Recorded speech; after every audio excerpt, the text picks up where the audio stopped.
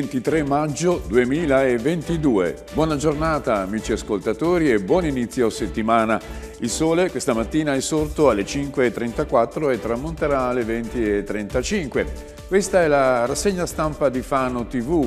Leggiamo insieme i giornali, vediamo quello che è accaduto nella giornata di ieri, a partire dal Corriere Adriatico e poi il resto del Carlino. Ma oggi inizieremo con un argomento particolare, quello dello sport, perché siamo a fine del campionato di calcio e vedremo com'è andata per le squadre locali. Vediamo il santo del giorno nel frattempo e vediamo che oggi si festeggia San Desiderio di Langres.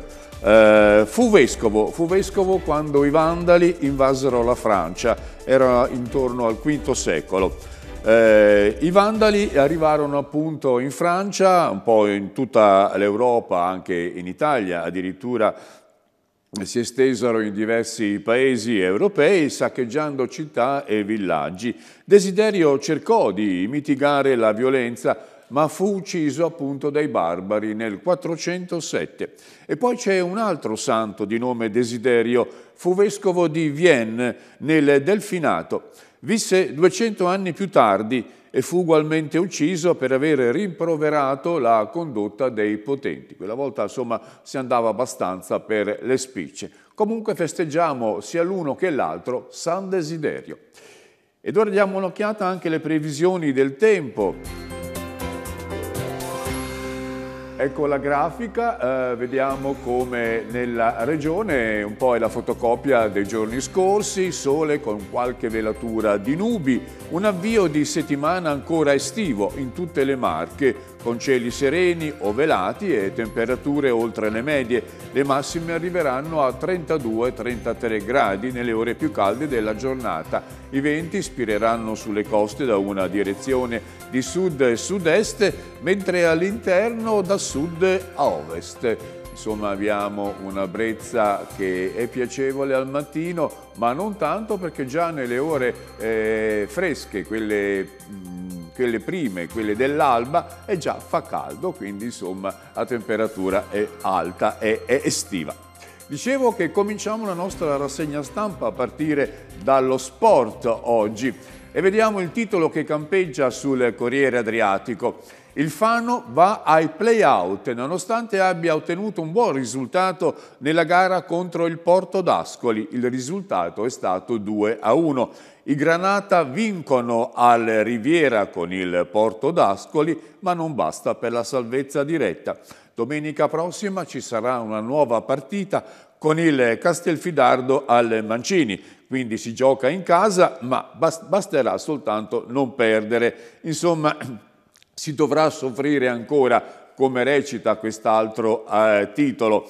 Il vice allenatore del Fano, Fiscaletti, dice i ragazzi hanno fatto il massimo ma non è bastato. Russo un po' ci avevo sperato quando è giunta la notizia del pareggio del Tolentino, ma insomma questo non è bastato. E vediamo anche come riporta la notizia il resto del Carlino. L'Alma vince, ora c'è comunque l'atto finale, Porto d'Ascoli già salvo e senza nulla da chiedere. I Granata guardano al confronto con il Castello. Insomma, abbiamo ancora una partita uh, da soffrire, magari sperando so di sollevare l'entusiasmo dei tifosi e soprattutto i tifosi del Milan ieri hanno gioito, hanno scorazzato con il clacson eh, per le vie cittadine, fumata bianca, Milan campione, intitolano le prime pagine dei giornali perché il Milan ha vinto il campionato. Ed ora passiamo alle notizie invece di carattere generale, di carattere locale. Vediamo la prima pagina del Corriere Adriatico per quanto riguarda Fano ed è una pagina dedicata all'olio perché ieri in città, anzi nel fine settimana in città, si sono così organizzate diverse iniziative per valorizzare l'olio extravergine di oliva. Abbiamo le premiazioni della, del Gran Galà dell'Olio che si sono svolte sabato scorso nella Pinacoteca di San Domenico con la presenza dei produttori migliori a livello nazionale e anche a livello internazionale perché si davano anche i premi dell'oro del Mediterraneo, non solo dell'oro d'Italia. Ed erano presenti delegazioni che venivano dalla Croazia, dalla Grecia, dalla Spagna e per quanto riguarda l'Italia un po' da tutte le regioni ovviamente quelle eh, che producono l'olio in grande quantità eh, sono la Puglia, la Campania, insomma un po' tutte le regioni olivicole del territorio nazionale, ma anche nostra, il nostro territorio si è fatto sentire perché ieri si è svolta anche una bella iniziativa, Olio DOP, identità del territorio a tavola, anche storia e cultura. E c'è stata una una conferenza stampa organizzata nel contesto di Expolea, che poi è stata la mostra dei migliori oli che è seguita alle premiazioni di sabato scorso. Una mostra che è stata inaugurata ieri mattina al Pincio con eh, tanti box che esponevano i migliori oli appunto del territorio. Ma questo è il territorio nostro, è il territorio costituito dai comuni di Cartoceto, Monbaroccio e Colli al Metauro, che messi insieme hanno organizzato una serie di iniziative che si chiama Conterranea. Sono tre iniziative. La prima eh, è stata organizzata per sabato 11 giugno a Colli al Metauro. Eh, la seconda, al, la seconda al, vediamo un po', a Monbaroccio, a Monbaroccio nel giardino di Palazzo Guidobaldo del Monte. Quella invece di Colle al Metauro si terrà al Museo del Balì sabato 11 giugno a partire dalle ore 19.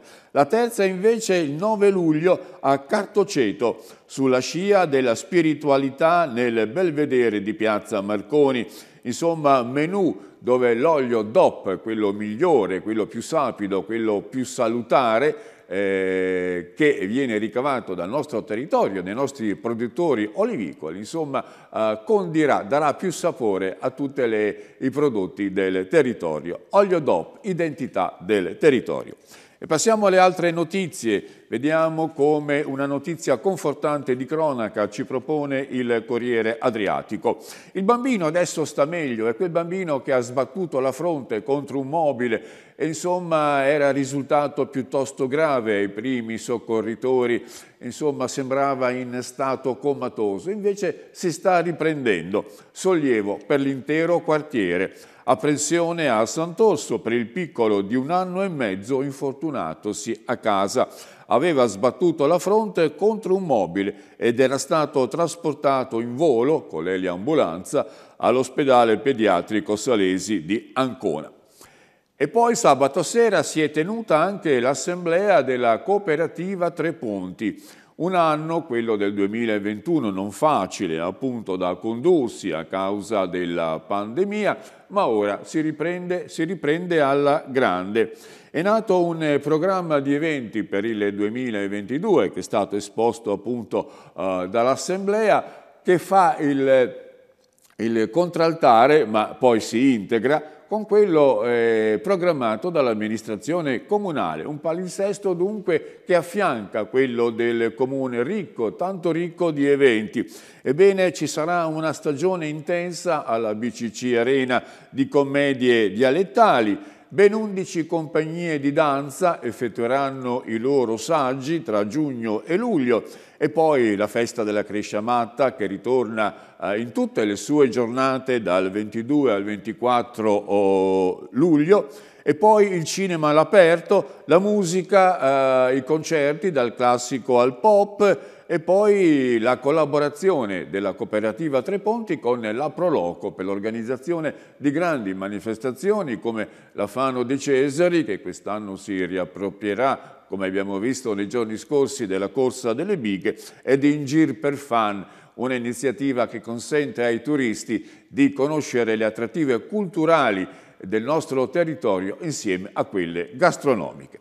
E veniamo ora nell'entroterra A terre roveresche. Marcucci promette una svolta, si parla di campagna elettorale, campagna politica, perché appunto tra poco ci saranno le elezioni in terre roveresche e Marcucci è il capolista della eh, lista. Condividiamo ed è candidato sindaco ovviamente. Rigenerazione, prossimità, autenticità e cura della persona sono i pilastri del suo oh, programma elettorale.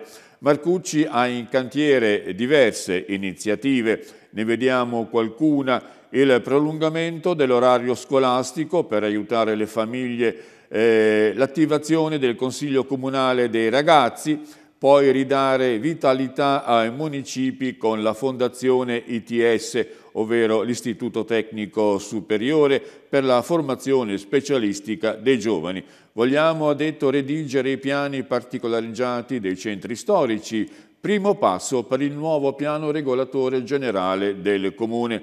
E ancora, grande attenzione al mondo dei giovani, con l'istituzione della consulta giovanile e delle associazioni del territorio. Insomma, eh, giorno dopo giorno eh, i giornali evidenziano le prospettive, i programmi dell'una e dell'altra lista elettorale.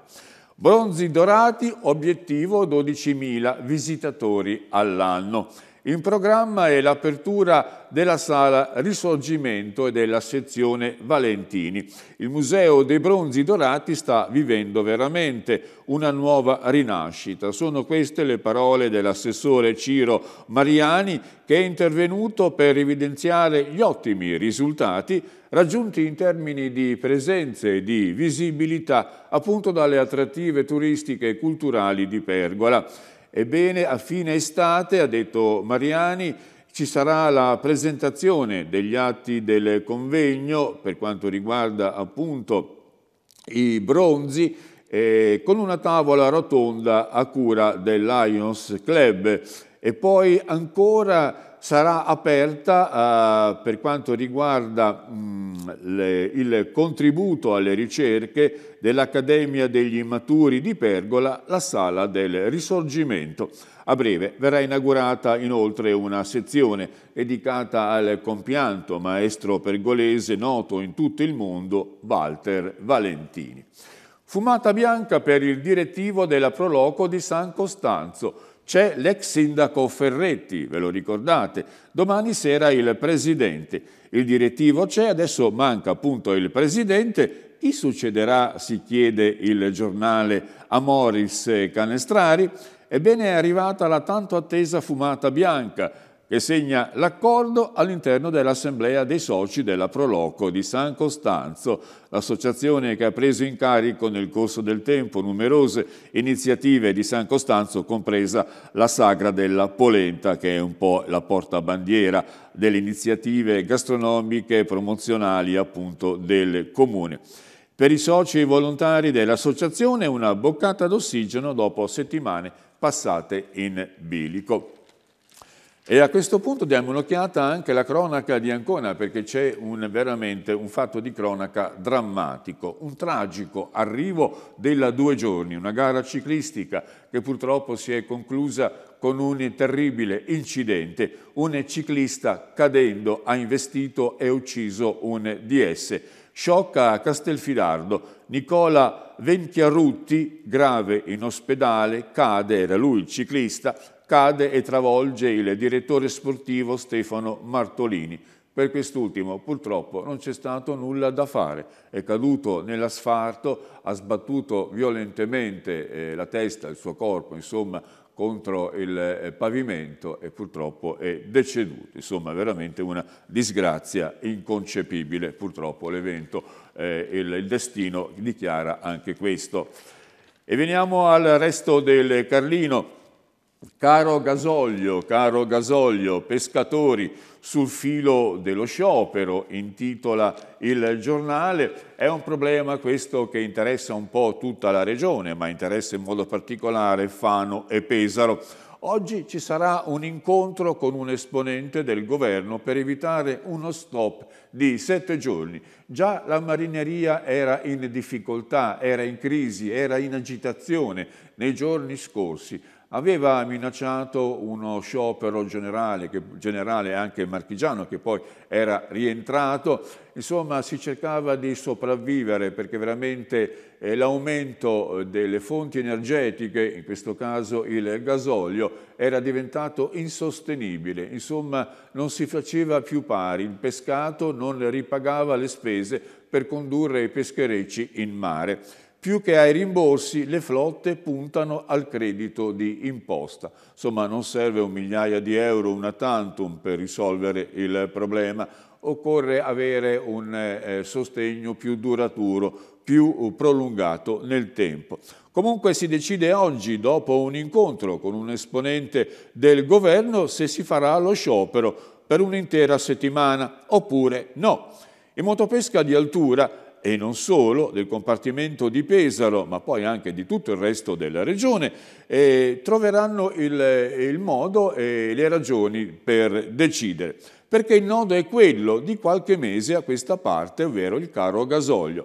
Perché un grosso motopesca consuma nei quattro giorni di pesca alla settimana circa 4.500 litri di gasolio, di carburante, quelli un po' più piccoli arrivano sui 3.500, pensate quanto costa il gasolio, anche se per la pesca il prezzo è diverso da quello sulla strada.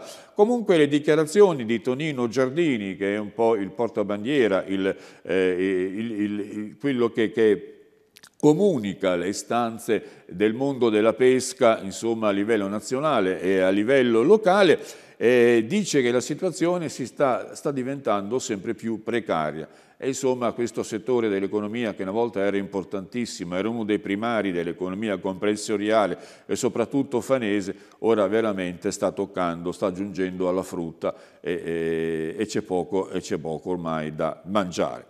La concorrenza dall'estero, se noi incrociamo le braccia, si rivolgono a loro, eh, dicono anche i pescivendoli, perché se poi nei banchi del mercato non c'è il pesce locale, si prende quello congelato oppure quello che viene da altre località, da altri mari. A maggio nevica, sì, è la neve di maggio, quella della lanuggine dei pioppi, una sostanza bianca che aleggia nell'aria fastidiosa eh, si attacca un po' dappertutto, si ammucchia nei giardini, sopra le auto, eh, sulle, scalinate, sulle, scalinate delle case. Insomma, veramente la neve d'estate eh, è un eh, problema per diverse località e lo è in modo particolare per Viale Marconi a Pesaro.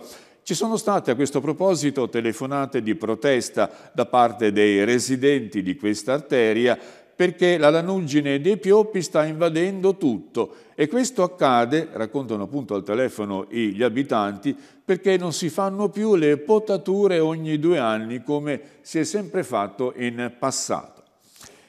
Due chilometri circa di auto eh, nella statale adriatica tra Fano e Pesaro. Assalto alla statale, però nessuna multa nella giornata di ieri. Ieri si trovava invasa l'arteria dalle macchine nel tratto Pesaro-Fano, ma le uniche auto che potevano parcheggiare erano quelle lato monte, in realtà le, marche, le, le macchine erano sia di qua che di là. E passare, bisognava passare a passo d'uomo perché era molto alto il rischio di provocare degli incidenti. Veniamo alla cronaca, un successo per gli inquirenti hanno un nome i picchiatori del campus, lo vediamo qui in questo articolo, una delle vittime ammette il debito di droga. Ebbene, si tratta di un diciannovenne ferito più lievemente dell'altro di 16 anni. Sono due ragazzi che sono stati picchiati da una banda di nigeriani e marocchini eh, che veramente eh, ne hanno date di, di sana pianta appunto a questi due giovani. Ebbene sono stati identificati e denunciati i componenti della banda autrice della spedizione punitiva. Tutti hanno un volto e un nome. Eh, la mattina di sabato scorso al campus scolastico eh, hanno assalito e malmenato i ragazzi, eh, due ragazzi di età dai 17 ai 20 anni. Il primo a essere picchiato è stato un italiano, appunto tra i 16 e i 17 anni, anche se non originario di Pesaro, è uno studente dell'Ipsia Benelli, intorno alle 10.30, cioè al momento della ricreazione.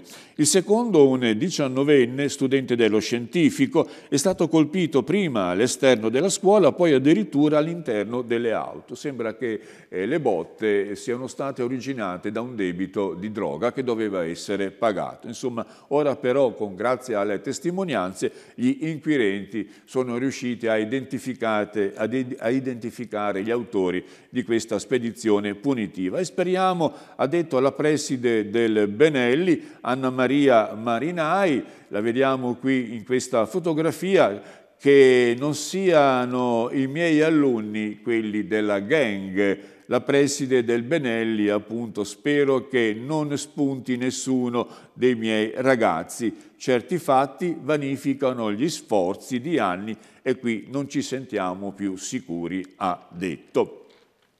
Tavola, storia e musica, e questa è la strada dell'olio. Anche il resto del Carlino interviene sulla giornata, sul fine settimana dedicato all'olio a Fano. Eh, Conterranea presenta il format Tre cene gourmet e tre eleganti concerti in altrettante incantevoli location che sorgono in tre dei quattro comuni dell'areale all'unica dopo le area marchigiana. Dicevo prima, Colli al Metauro, Monbaroccio e Cartoceto.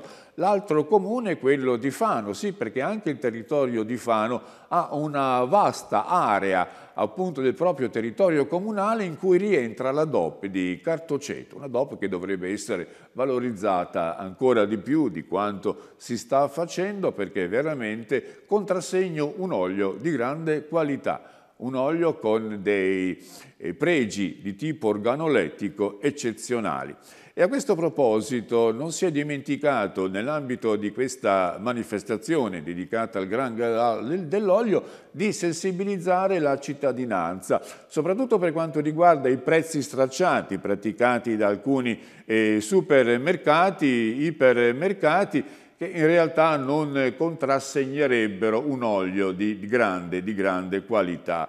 ovviamente quest'ultima eh, costa e quindi qualche euro in più bisognerebbe essere disposti a pagarlo appunto secondo ovviamente gli intenditori.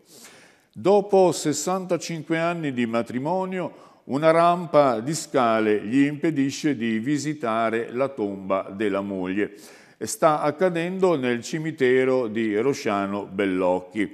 Dolore che si aggiunge al dolore. Muore la moglie a 90 anni e il marito che ne ha 92 non può portarle nemmeno un fiore sulla tomba perché è seduto in una sedia a rotelle e non può discendere la scala Vediamo qui qualche accenno appunto di questa scala, questo è il figlio che la mostra, eh, per giungere nei sotterranei dove è, è riposta la tomba eh, della moglie. Si tratta di Yolanda Falcioni, deceduta appunto a 90 anni. Due rampe di scale che diventano una barriera insormontabile per Libero Tonucci, 92 anni, da qualche tempo costretto, come abbiamo detto, su una sedia a rotelle.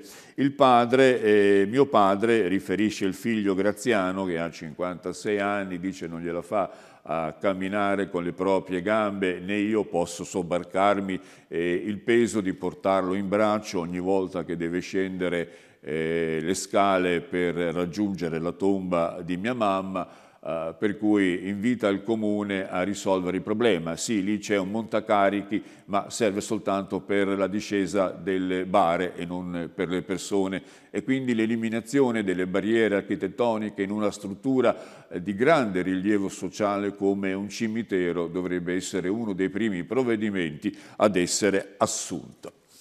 WeNature cala il sipario. Nel 2023 anticiperemo l'inizio. Si è conclusa la manifestazione di cultura ambientale svoltasi sul colle di San Bartolo e ora Cater Raduno e Ulisse Feste, altre due grandi iniziative che possono attrarre persone con una, una spiccata sensibilità ambientale appunto su questi meravigliosi paesaggi delle alture pesaresi. We Nature chiude i battenti, il festival dedicato ai temi dei cambiamenti climatici e dell'impatto sugli habitat naturali, chiamando in causa anche i comportamenti consapevoli dei cittadini, ha chiuso ieri la due giorni svoltasi sia sul San Bartolo che in modo particolare sul colle a Fiorenzuola di Focara.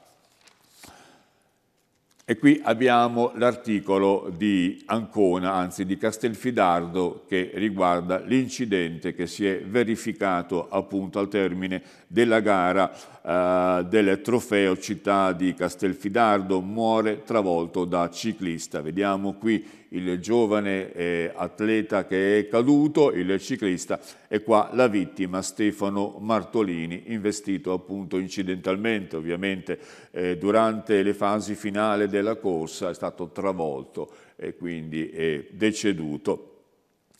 E beh, abbiamo concluso con questa notizia purtroppo non certo piacevole la nostra rassegna stampa. A questo punto non mi rimane che darvi appuntamento a domani alle ore 7 per le notizie del giorno e invece per quelle di oggi vi do appuntamento alle ore 20.30 con il TG di Fano TV Occhio alla notizia condotto da Simona Zonghetti. Questo è tutto per il momento, a risentirci.